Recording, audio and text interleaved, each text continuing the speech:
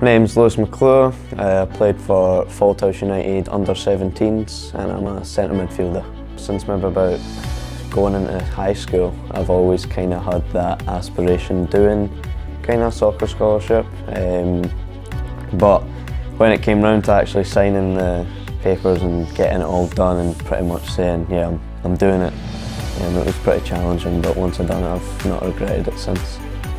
It was just kind of getting over people like just leaving Scotland really, and um, going over there.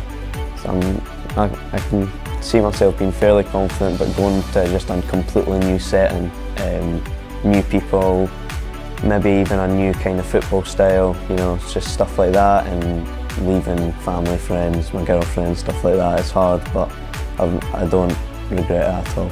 After um, David and his team promoted out and sent kind of my package away, my video highlights and my academic achievements and stuff like that.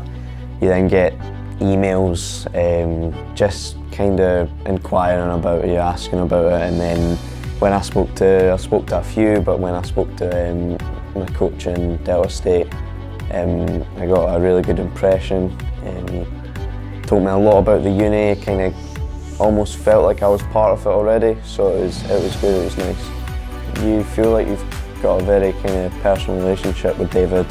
When I spoke to him, he was very clear, he treated me like an adult, he told me what the process was like, what I should do, gave me a lot of advice, so yeah, in the end he was really helpful and the process was actually a lot easier than I thought.